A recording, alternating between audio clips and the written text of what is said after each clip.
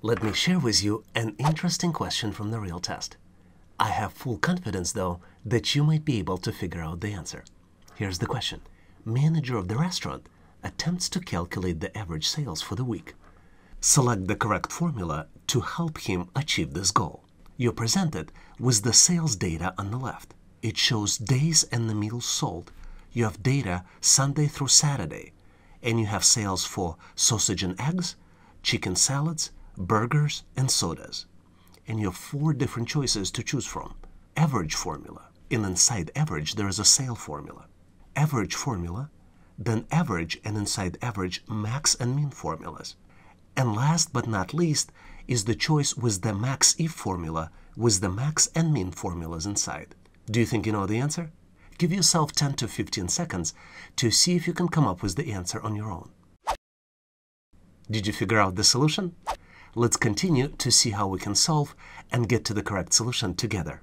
To help managers solve this challenge, we would need to use the average formula. To do this, let's type the formula, and as you start typing, you will see that the syntax helper in Excel will help you automatically determine what are the right parameters for this particular formula. For example, in our case, we would need to select the entire range from B2 to E8 and then close the parentheses. This will calculate the average in this range. A lot of times in the real test, you may also be required to calculate averages for particular categories. For example, to calculate the averages for sausage and egg, you can use AutoSum function, and average is part of this function. And Excel will help you automatically pre-select it, and once you hit enter, it will calculate the average for sausage and eggs. You can also calculate the average for particular day of the week.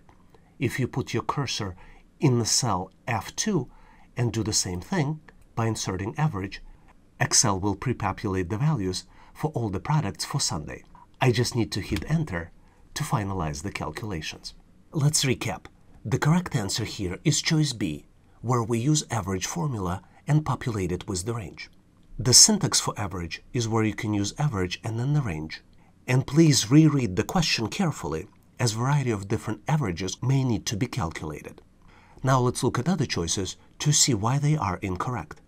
Choice A, sale is an invalid function in Excel. Choice C is also invalid because it returns the average of extreme values in array. And choice D, where max function is selected, is an invalid function in Excel, and comma should be used instead of the colon. Hopefully you've nailed this question and now know how to answer similar problems in the test. But in case you need more questions or practice problems, please check out the description of this video for more information.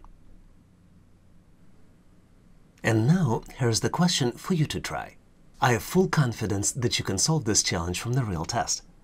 Bookseller attempts to calculate the total sales of Lord of the Ring title in Los Angeles. Which of the following functions should be used to complete the task? And you have four different choices. Choice A, find function. Choice B, SUMIF function. Choice C, SUMIF function. Or choice D, count if function. Do you think you know the answer? Now might be a good time to pause this video to look at the data on the left and see if you can come up with the solution. And if you came up with the solution, please make sure to post it in the comment section of this video so I can give you my feedback.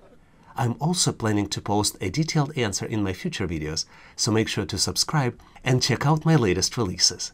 Thanks for participating and good luck solving this challenge. Thanks for watching. I encourage you to check out our daily question challenge in the community section of this channel. I also recommend that you check downloads in the description section of this video. Please also check out resources page on our website, howtoanalyzedata.net slash resources. If you like the content, please give this video a big thumbs up. This tells us that you need more content like this. I would encourage you to share this video with other people that might be looking for the job. This will help them to get prepared and pass assessment test faster. Please consider subscribing and following this channel. We have community of great people helping each other to get ready and pass the test. Please leave questions, comments or suggestions in the comment section of this video. And all the best on your interview and assessment test. Thanks for watching.